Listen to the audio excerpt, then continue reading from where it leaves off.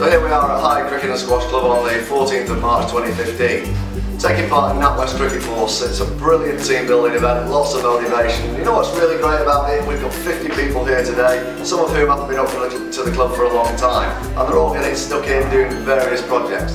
Some have got great skills, others have got no skills. But if we have a look at what's happening outside, it is brilliant. We've got patios being laid, we've got fences being done for the first time, we've got the nets being cleaned up and your typical jobs like painting side screens, cutting the grass and all of that. So it's a fantastic day, a great community day for the club and one that will last in the legacy for years to come. So thanks very much for everybody. Have a look at the rest of the video.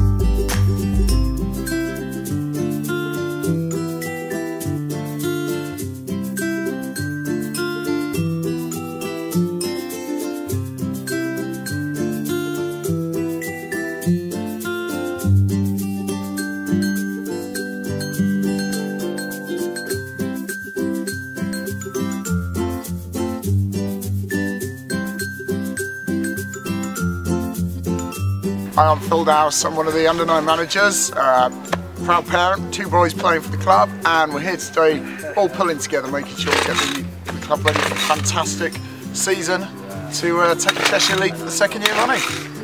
Go Hyde!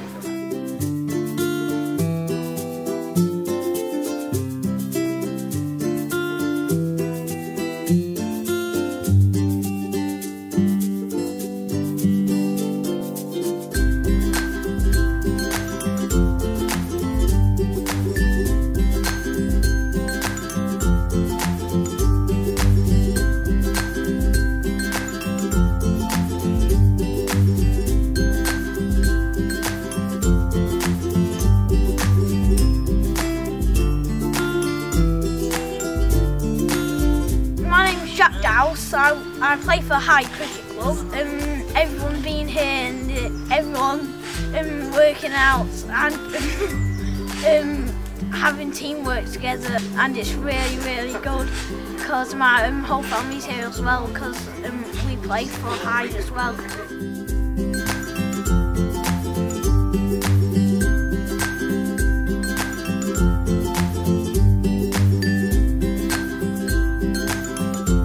Hi, my name is Rob Briley. I'm junior chairman at Hyde Cricket Club, uh, also vice captain of the first team. Um, NatWest Cricket Force is a great occasion for a number of reasons. It gets the facilities looking, as you can see, superb. Uh, gets them ready for the season. Gets a lot of our juniors and parents and senior players all together, so brings the club together as one. Uh, it's great for the local community. Hopefully, people from around the area who want to get involved in cricket can come and use use these facilities that we've got looking smart today. Thanks very much.